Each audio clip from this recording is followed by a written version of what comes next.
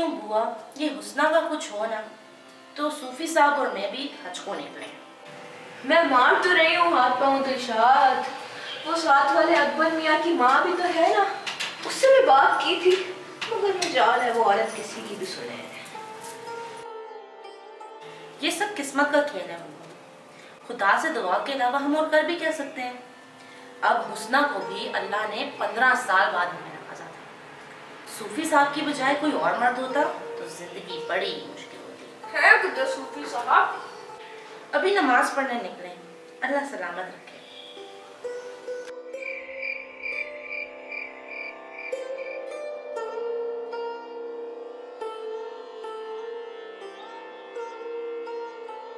ये किधर है गए सूफी साहब? इतनी देर तो उनको कभी भी नहीं हुई।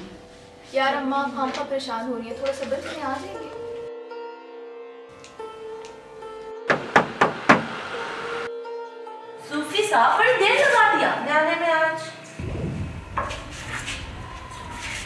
दिलशाद से मिली उसने आ रहा है। जी मैंने पहचाना नहीं। वो मेरी दूसरी बीवी उसना बेटा इनको इनके कमरे में दे।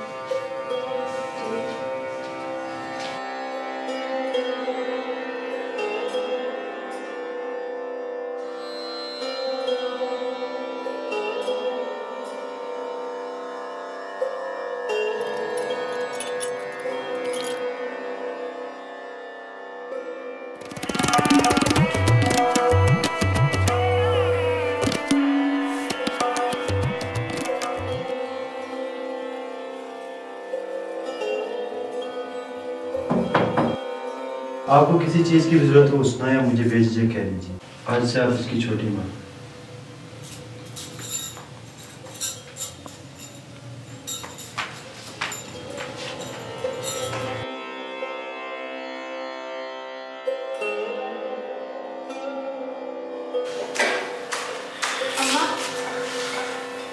अम्मा। अम्मा। बात सुने। अब्बा ने क्या गजब कर डाला? मेरी उम्र की लड़की से निकाल कर आप कुछ तो कहे उन्हें बोले ना अम्मा दूसरी शादी करना हक क्या उनका? सवाल नहीं पूछे जाते। मतलब मर चाहे कुछ भी कर ले। ये हम दोनों मियाँ बीबी का मामला है। तुम्हें इसमें पढ़ने की कोई ज़रूरत नहीं है।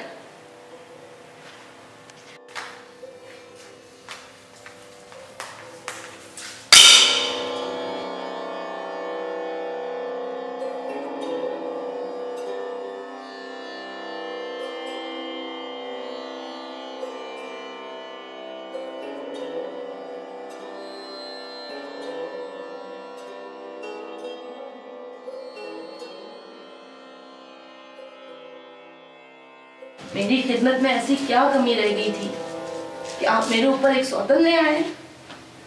ऐसी बात नहीं है दिलशाद उसका आना मेरी किस्मत में था। थोड़े वक्त में तुम्हें मिस किया।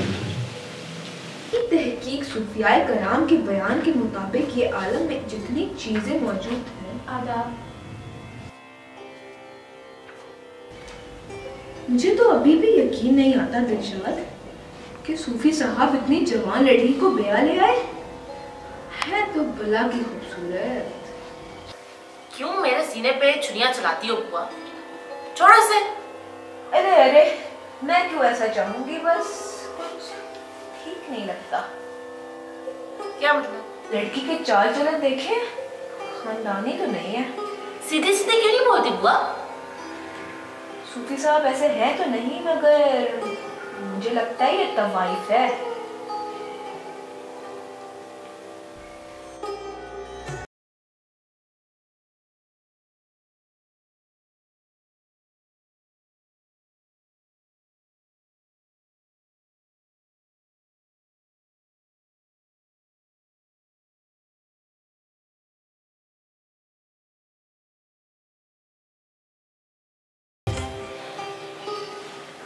मुझे पता है कहाँ से लेकर आया आप उसको। अब जान गई हो तो बात को यही दबा दिया। ये क्या गजब कर दिया आपने? दूसरी शादी की तो की लेकिन वो भी एक तवाइफ से इस बस बात एक लफ्ज नहीं उसके बारे में।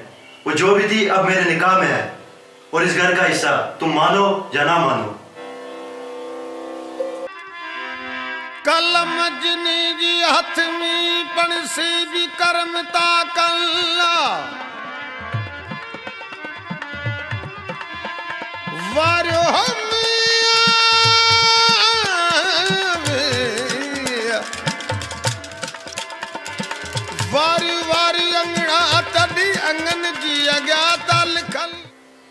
ऐसी तो कोई बात नहीं मौलवी साहब। मेरी मजाल। मैं तो सिर्फ़ हालचाल पूछ रही थी। मुझे मालूम है दिलशाद वैसे जज्बाती हो जाती है। बहरहाल तुम भी एहतियात किया करो। अरे कोई मुँह मीठा करवाए मेरा। किधर है सब? आज चाँद कहाँ से निकला है? अरे अब तो हर जगह चाँद ही चाँद नज़र आएँगे।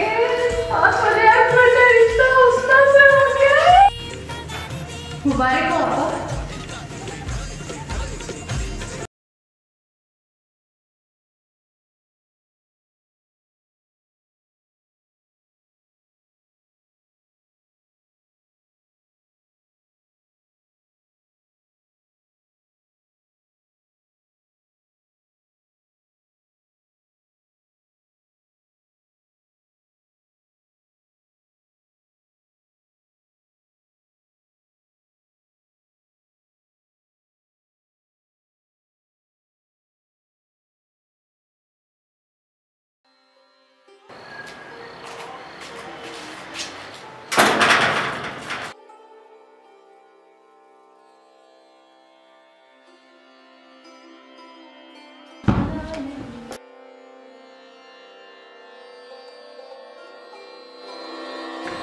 क्या हुआ दिलशाद खैरियत? आप यहाँ हैं तो हुस्ना आने के कमरे से किसकी आवाज़ आ रही है?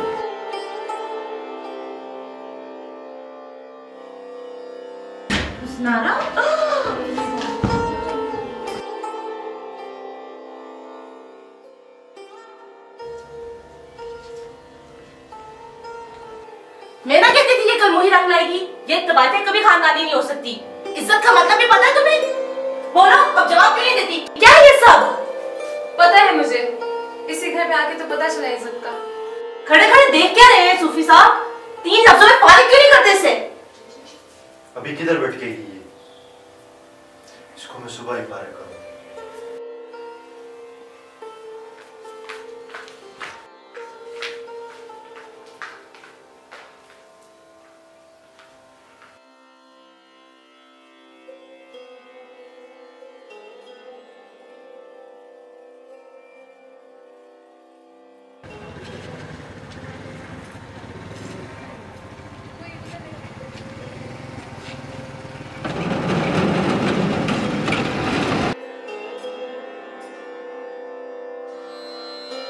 बीबी सब खैरियत?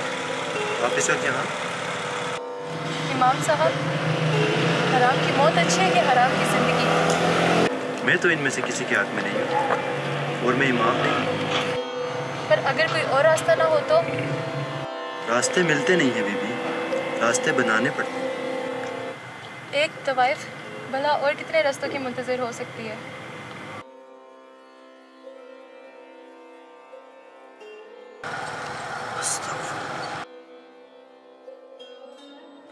मसला क्या है?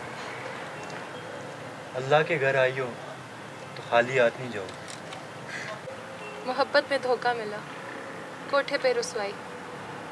रेल की पटरी पर जान देने जा रही थी। फिर ये मस्जिद देखी।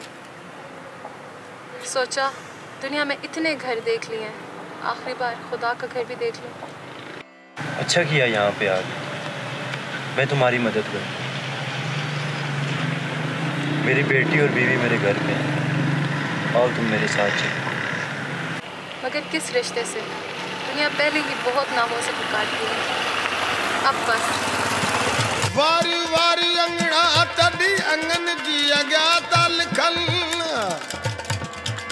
मेदा महबूब हाणे मेदा महबूब बन तक पुछण लायक ना आहे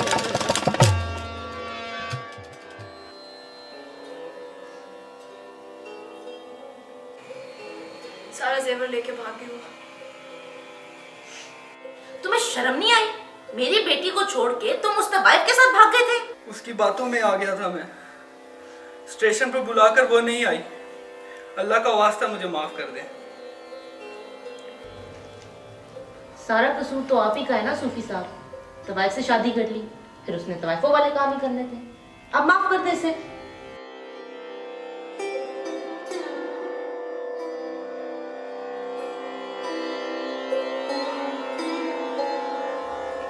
गई मेरी बच्ची। स्पोर्टली में क्या लाई हो? ये ये तो वही सेवर है ना जो बेगारत औरत लेके भाग गई थी। बेगैरत ना बोलो। उस औरत ने हमारी इज़्ज़त कहीं की नहीं छोड़ी। हमने उसके कहीं की नहीं छोड़ी अम्मी। क्या मतलब है तुम्हारा? क्यों रो रही हो उसना? अम्मी मेरे से गलती हो गई थी। शादी से पहले मेरा ताल्लुक था अकबर के साथ। माँ बनने लगी थी। वो मुकर गया। उसे नारा को सब पता है। ये क्या किया उस्ताद तूने? ये क्या किया? खानदानी तो वो तवाइफ हुई। और तेरी बेटी?